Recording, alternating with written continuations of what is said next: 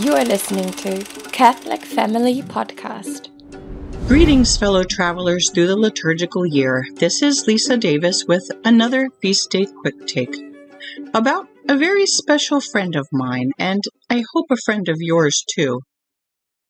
The worldly world provides an almost unending supply of possible mentors, from athletes to actors to cartoon characters, and whether we realize it or not, they fly or dance or sing or diddy bop into our consciences and take up residence there.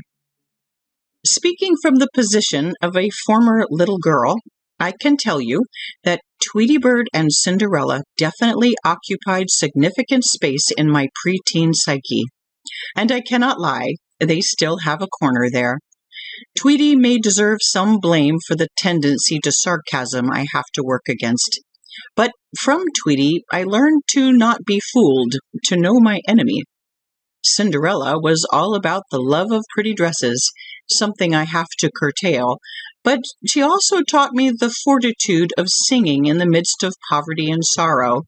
Not much different, I guess, than the human influences of my life, who have also been blessings and lessons, though I certainly hope the influence of my mom and aunts and all the sisters I've known has a deeper effect than animated drawings. Needless to say, not all influences are as innocent as Tweety and Cinderella. Hollywood has flooded the market with a host of cartoons and movies in the last several decades that, worse than Tweety's quirkiness, glorify bad behavior and immorality. These characters are bad company, not just for our children, but for us as well. Our choice of friends is so important to the salvation of our souls. This just cannot be emphasized enough. Every friend we make will either help us make it to heaven or lead us away from it. It's as simple as that. And it's not just flesh and blood friends that have this power to affect us. We are all equally subject to the sway of friends we make through the power of stories, whether it's television, movies, videos, or books, whether they're fiction or nonfiction. We are so hardwired to learn this way that when he wished to teach, Jesus spoke in parables, and without parables he did not speak. You'll find that in Matthew chapter 13, verse 34. It matters a lot who tells a story and what lessons the characters in a story teach, though. We have a responsibility before God to choose our friends wisely and to teach our children to choose friends and stories wisely as well. Which leads us to today's saint, a good friend to many of us and one that deserves to be introduced to everyone. Braver than Merida and Brave, more true to course than Pocahontas, more stubborn in her quest for truth than Rapunzel, victorious over all forces of evil, including the Novus Ordo, and a real princess, girls, first on earth and now in the glorious courts of heaven. To know her is to love her.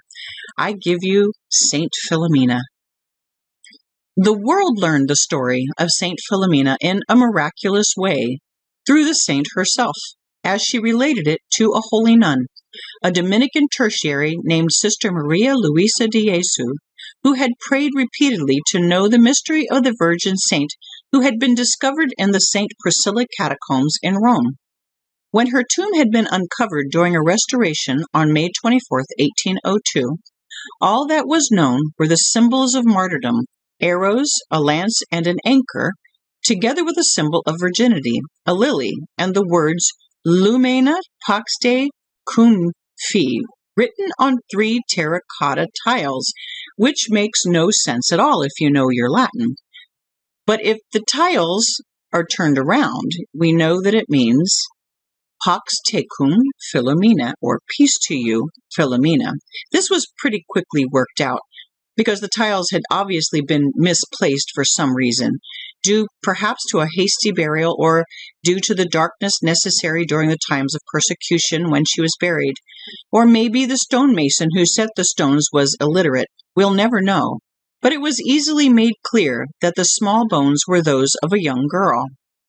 Sister Maria, along with many devout Catholics who had heard of this discovery, prayed that God would somehow reveal more of the story of the martyr. And God provided that it would be told, 31 years after the opening of the tomb.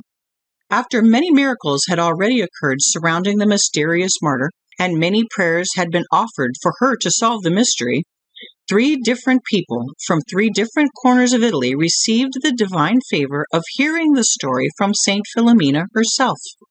These three had never met, nor had the opportunity to communicate with one another, but each told identical details about Saint Philomena's life and death. Here is the account written down in 1833 by Mother Maria Luisa de Jesu, the same year the other two accounts were recorded.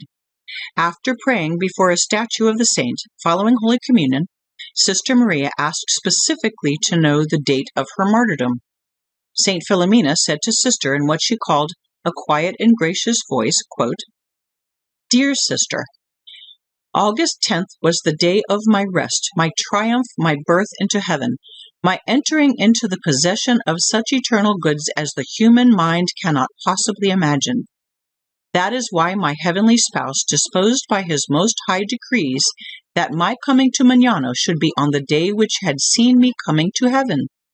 He prepared so many circumstances which should make my arrival at Mugnano glorious and triumphant, giving joy to all the people, even though the priest who brought me had absolutely decided that my translation should take place on the fifth of the month, very quietly and in his own house. My omnipotent spouse impeded with him so many obstacles that the priest, although he did all he could to carry out his plan, could not do so. And so it came about that the said translation was made on the tenth, the day of my feast in heaven. Afterward, Sister Maria Luisa feared that she'd perhaps drifted off and dreamed this revelation, or that it was some kind of illusion, and she took the matter to her confessor, seeking his counsel. He did not dismiss it, but required Sister Luisa, in obedience, to ask St. Philomena to reveal more. After praying in her cell shortly afterward, the same quiet voice said, quote, I am the daughter of the king of a small Grecian state, and my mother too was of royal blood. As they had no children, my parents continually offered sacrifice and prayers to the false gods to obtain a child. We had in our family a doctor named Publius, and he was a Christian. He pitied the blindness of my parents, and especially he had compassion on my mother in her childlessness. Inspired by the Holy Spirit, he spoke to them of our faith, and also inspired, made them this promise. He said, If you want a child, be baptized and embrace the religion of Jesus Christ. Grace accompanied his words and enlightened their minds, softened their hearts, and moved them to consent. They were instructed and were baptized with some of their courtiers who were in their confidence. A year later, on January 10th to be exact, I was born and I was called Lumina because I had been conceived and born in the light of the faith, to which my parents were truly devoted. And then I was called Philomena, daughter of light, of that light of Christ which dwelt in my soul by the grace received in baptism. And because of my birth, many families in the kingdom became Christians. I grew up with the teaching of the gospel printed more and more deeply in my heart, when I was five, I received for the first time Jesus Christ in the Holy Eucharist. And in that day was planted in my heart the desire to be united forever to my Redeemer, who is the spouse of virgins. And when I was eleven, I consecrated myself to him by vow. There came the thirteenth year of my life. The peace of Christ, which until that day had reigned in the household and kingdom of my father, was disturbed by the proud and powerful Emperor Diocletian, who unjustly declared a war against us. My father, realizing his inferior strength, decided to go to Rome and make some pact of peace with the emperor.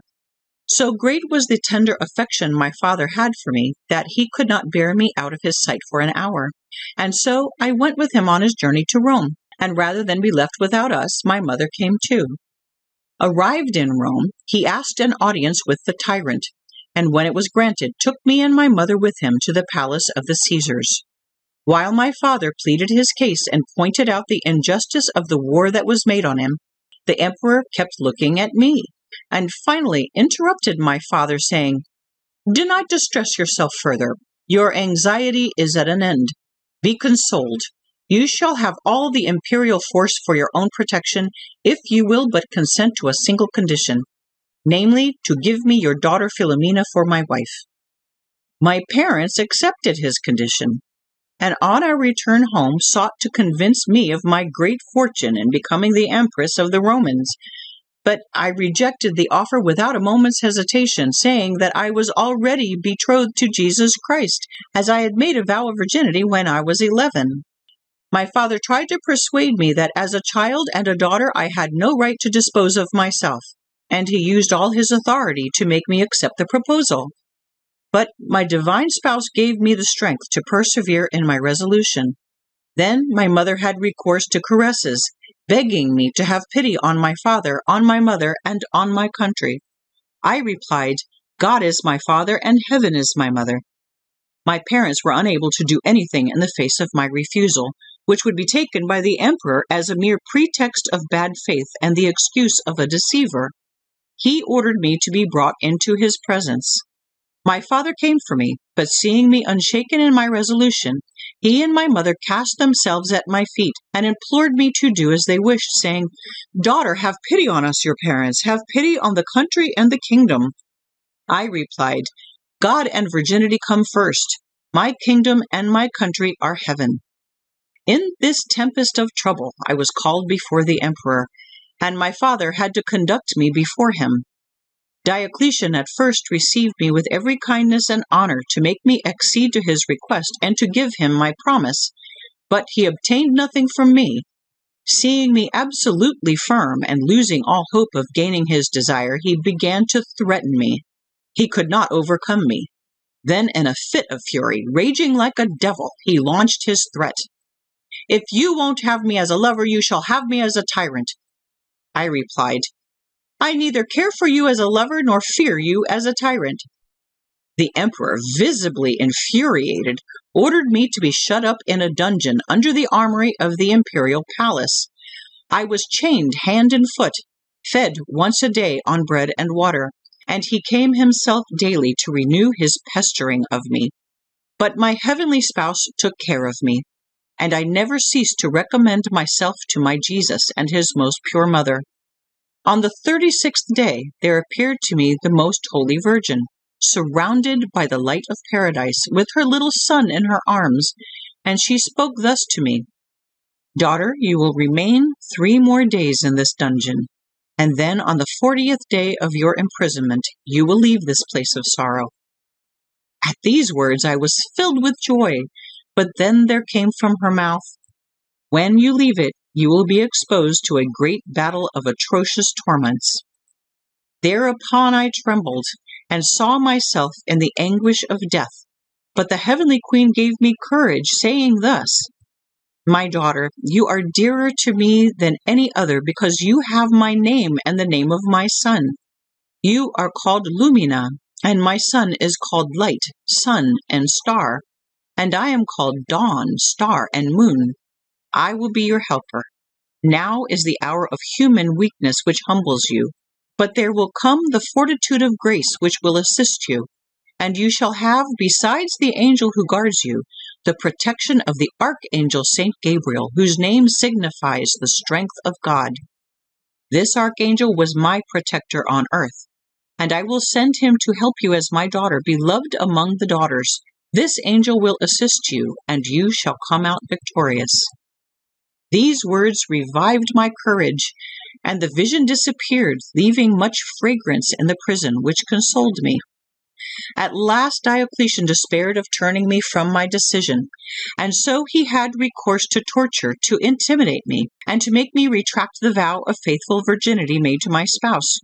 When the forty days were fulfilled, he had me brought out of prison and bound naked to a pillar in the presence of many of his gentlemen at arms and other officers of his palace and he had me scourged, saying, Since she obstinately refuses an emperor such as I am, for a malefactor condemned to death by his own countrymen, she deserves to be like him, to be treated to my justice. Then, seeing that though my body was covered with wounds and blood, and though life hardly remained in me, I was constant in my word, he ordered me to be taken back to prison to die. There I awaited forsaken till death should take me to repose in the presence of my spouse, when two angels appeared, anointed me with precious unguent, and healed me. The next morning the emperor was astounded on hearing the news. Seeing me in full beauty and health, he tried to make me believe that I owed this favor to Jove, who had cured me because he destined me to be the wife of the emperor, and filled with the devil, he gave me every honor, and with ardent caresses of impure affection strove to drive me to my ruin. But I remained firm, studying to convince myself that they were only the devices of the demon to take me from the most precious possession of my life, the lily of virginity which I had offered to my heavenly spouse. And he that strengthened me in this fight was the Holy Spirit. Not knowing how to answer the reasons I advanced in favor of our faith, and his gentlemen being unable to assist him, he displayed the greatest scorn, and snarling like a lion, ordered that an anchor of iron should be fastened to my neck, and I should be thrown immediately into the Tiber, and that so I and my memory should perish. But Jesus, to show his omnipotence, for the confusion of the tyrant and of the idolaters, sent again two most beautiful angels, who broke the cord suddenly on my neck, the anchor fell into the depths of the Tiber, where it still lies covered with river mud. I was held up on the angel's wings and brought back without a drop of water having touched me. When the people saw me thus, in safety and glory, not even having been immersed, they spread it abroad, and many were converted to the faith of Christ. The tyrant, in furious despair, shouted that it was all done by magic, and more obstinate than Pharaoh, ordered me to be dragged through the whole of Rome and then shot at with arrows.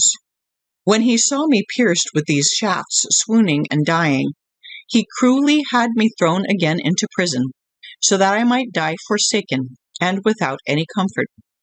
In the morning, expecting to find me dead, he was stupefied to find me rosy and well, singing psalms in praise of God.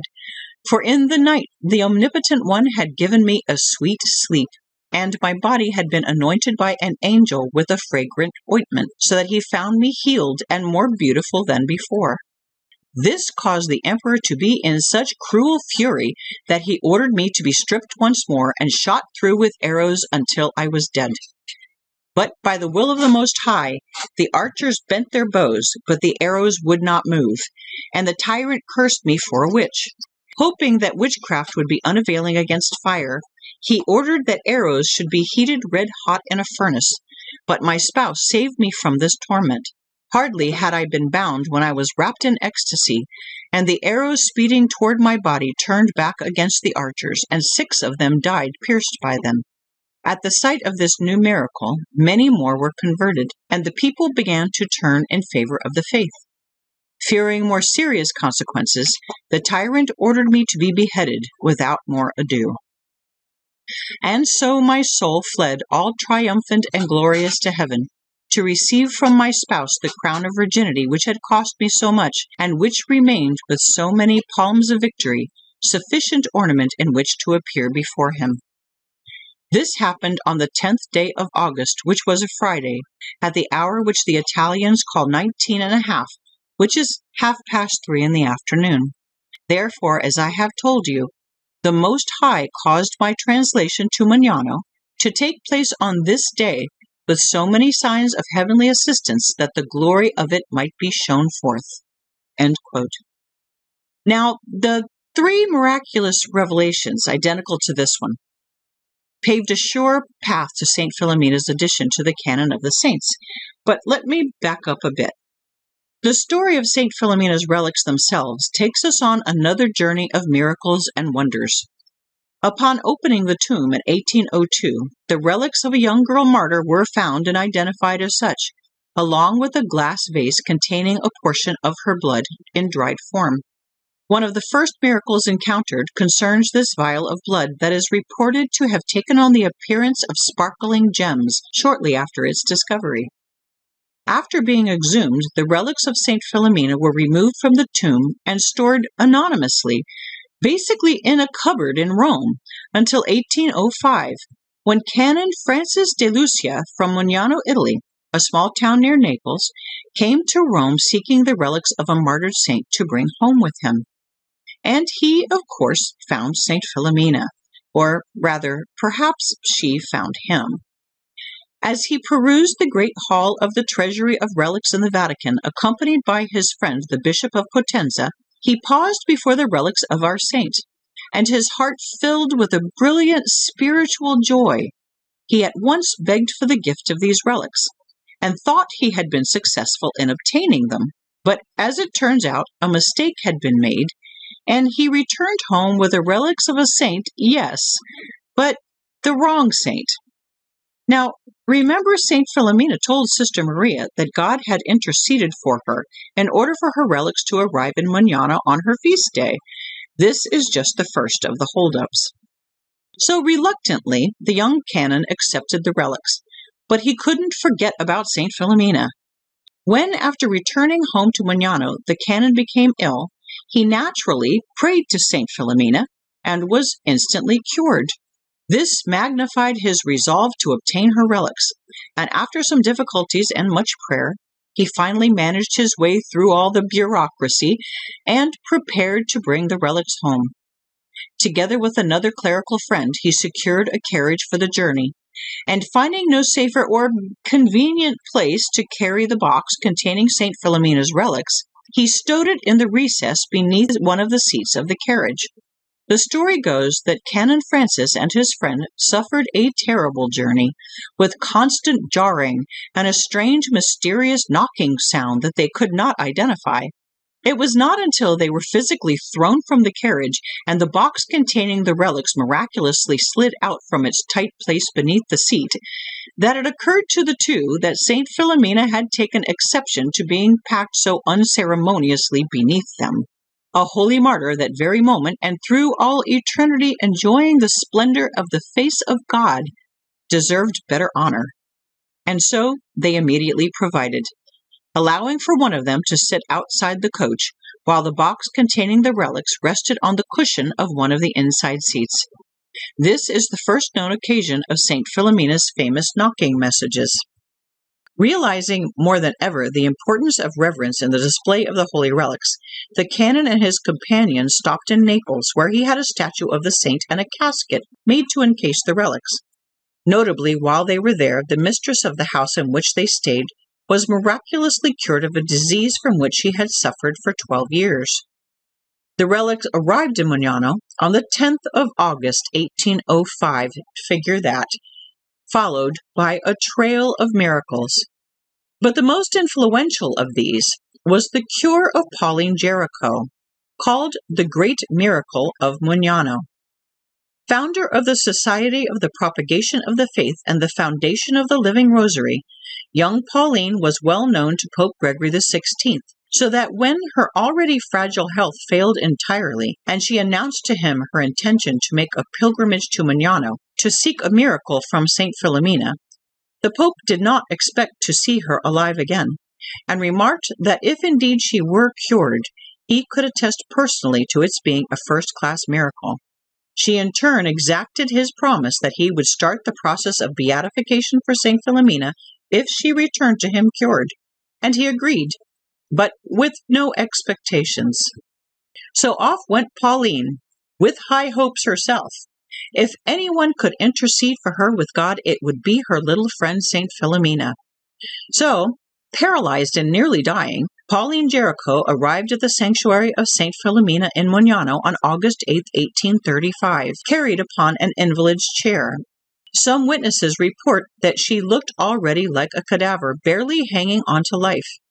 For two days, however, she prayed before the relics of St. Philomena, and on August 10th, during the blessing with the Most Holy Sacrament, she felt instantly cured, got up, and to the wonder of all, walked without support. Here's the story in her own words, beginning with a description of her illness.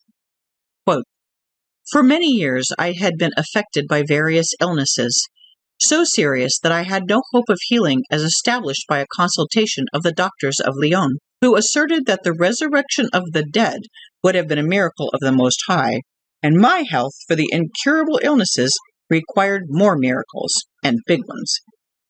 But what scared me most of all and made me tremble every moment with the possibility of imminent death was an aneurysm of the heart with which I had suffered for many years, and that especially for the past 15 months, caused me deadly heart palpitations that took my breath away and forced me to stay nearly always in bed.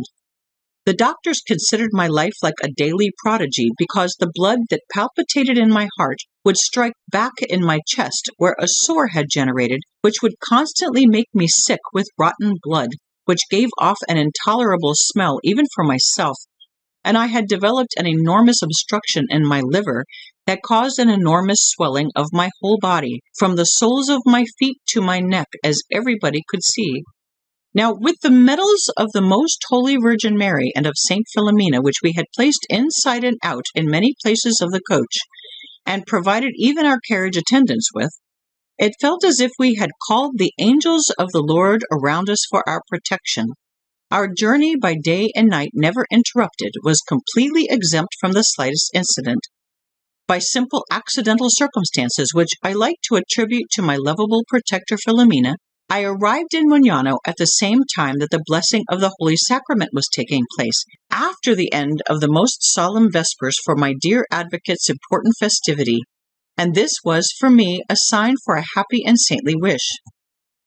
My ardent intention to come to the glorious tomb of Saint Philomena to pay her homage was not to ask for my healing, since I thought that I'd be better to entrust myself into the hands of God, who knows best what is most advantageous. But the charity of the good people who were in the church, and of the good foreign devotees of the saint, who were numerous inside and outside, who were present at my arrival, thought that the intention of my journey was the return of my health. I therefore heard a general shouting which made me understand that all those souls moved to pity for me were asking the thaumaturge for my healing. From the night of Saturday the 8th of August until Monday the 10th, I was brought to the church twice a day on my chair with armrests, and the people who were at the feet of the saint were asking with fervor for my healing. At last, Monday evening, at the moment of the blessing of the Most Holy Sacrament, I felt an unusual strength in me, and with ease I wanted to kneel down. I felt the urge to try and walk and to go out of the church without my chair. I had it brought after me for precaution in case my weakness would return. But to my amazement, I managed, without it or any other support, to walk up to my hotel. And more remarkably, I managed to climb freely a whole steep flight of stairs, which I had not managed for the last fifteen months. From this moment, I managed without any help to go from my accommodation to the church, walk across Mugnano, and even accompany the Most Holy Viaticum in difficult places, and this without feeling the terrible aches typical of my illness. Furthermore, I have been comfortable kneeling down like all the other faithful during the sacred functions, and I can say without any exaggeration that my health is improving more and more. This is glorifying for her through our Lord Jesus Christ and the Queen of Virgins. Honor this lovable girl in whom the power of the divine triumph has so visibly showed itself. O Philomena, preferred daughter and charity of Our Lady of Graces, your heavenly mother delights herself in the beauty of your merits. She glorifies herself in all the surprising features of your virtues for her son's honor, your spouse, and her heart rejoices at the sight of the palms and crowns which all the people of earth decree to you with much honor. O Philomena, your charity has made you admirable, known by all the nations. Your name has come to give my unhappy country a great reason for hope. This so sweet and powerful name has reached as far as me, and as soon as I heard it, I was attracted to your celebrated tomb, and I have tested the effects of your generous charity. I need to say to your glory that the benefits already received by me with your intercession are much higher than the ones of my body, of which I have already reported in detail. Therefore, I believe that this recognition imposed on me to consecrate myself to my illustrious benefactress. Yes, Philomena, all my life I want to love you like my beloved, honor you like my protecting angel, and I hope, with the divine help, to contribute as much as I can to your honor, so that everybody can experience, like me, how much you are generously good toward those that tenderly love you and invoke you. I have written down all these details to inform everybody of the unhappy state of my health prior to the prodigious grace of my health. Details that I have signed and written with my own hand and with people as witness, to give homage to the truth and fulfill the debt, although ineffectively, of my due recognition, and to reply to the request made by the ecclesiastic and civil authority of Mugnano. When Pauline returned to Rome, the Pope requested she remain for a year to officially verify her miraculous healing, so that he could deliver his promise. And so, her cure proven complete, he did. In 1837, Pope Gregory XVI solemnly confirmed the public veneration of Saint Philomena and bestowed a Mass in her honor. A saint of miracles, Saint Philomena became a saint through miracles. She is the only person recognized as a saint solely on the basis of miraculous intercession. No historic proof of her martyrdom exists except her name and the evidence of her martyrdom carved on her tomb. But her devotees have no doubt of her existence. Her multitude of miracles, beginning at the discovery of her tomb in 1802, have multiplied exponentially the more she has become known, in spite of all effort to suppress her veneration. Pope Leo XII granted permission for the erection of altars and churches in her honor. Pope Gregory XVI authorized her public veneration and named her patroness of the Living Rosary. The cure of Pope Pius IX, while still Archbishop of Imola, was attributed to Saint Philomena, and in 1849 he subsequently named her patroness of the children of Mary. Pope Leo XIII approved the confraternity of Saint Philomena and raised it to an archconfraternity. Pope St. Pius X raised the archconfraternity to a universal archconfraternity and named St. John Vianney its patron. St. John Vianney himself called St. Philomena the new light of the church militant and had a strong and well known devotion to her. Others with known devotion to St. Philomena include St. Anthony Mary Claret, St. Euphrasia Pelletier, St. Francis Xavier Cabrini, St. John Nepomucene Newman, St. Madeleine Sophie Barat, St. Peter Chanel, Blessed Peter Julian Eymard, Saint Damien of Molokai, Blessed Anna Maria Taigi, and of course the Venerable Pauline Jaricot. Though the Novus Ordo has tried to expunge St. Philomena from the hearts and minds of the faithful by ostensibly removing her from the calendar of the saints in 1961, St. Philomena refuses to be buried again.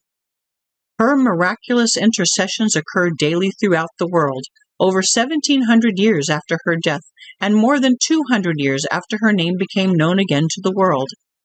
Friends of St. Philomena know for a fact that she is who she says she is, and that she is indeed our thaumaturge, or the wonder worker, that St. Gregory XVI proclaimed her. She is the patroness of hopeless cases, expectant mothers, and young people and has been adopted as one of the special patronesses of those who remain faithful to the true church in these troubled and confusing times. As one Catholic writer puts it, it does seem that God reserved St. Philomena as a remedy for our corrupt times.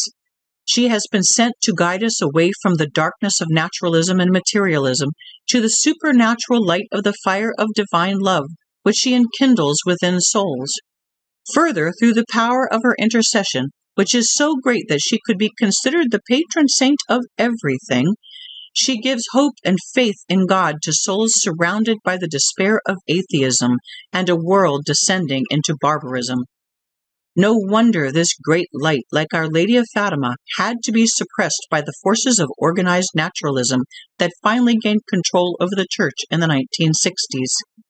Saint Philomena, in her victory over temptation and of her martyrdom, is an especially powerful beacon of hope for us in our own struggles because of her very littleness. As a young girl who was barely a teenager, it is all the clearer to us that to endure her martyrdom, she could not rely on her own strength, but needed constant recourse to God. In reality, this is how every human being must conquer temptation but because of our lack of humility, we must be reminded of our need to constantly pray for help. We need this encouragement not only in our ordinary struggles, but for our more difficult trials, even for a quote, white martyrdom or bloody martyrdom. God desires that we fix our eyes upon Him alone and upon eternity, as St. Philomena did, because it is in this way that we too will emerge from this life victorious. Upon raising the Archconfraternity of St. Philomena to the status of universal Archconfraternity, Pope St. Pius X, in the apostolic brief Pias Fidelium Societate, solemnly stated, quote, to discredit the present decisions and declarations concerning St. Philomena as not being permanent, stable, valid, and effective, necessary of obedience, and in full effect for all eternity, proceeds from an element that is null and void and without merit or authority. So, in case anyone has any doubt at all about the legitimacy of our Saint Philomena, you might say that the last pope declared a saint has the last word. Now, see what I mean about the story of Saint Philomena?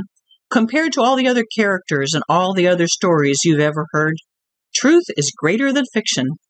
This spunky, determined, and exceptionally discerning and wise young woman is a superhero worthy of our admiration and imitation, and a friend well worth having. Saint Philomena, powerful with God, pray for us.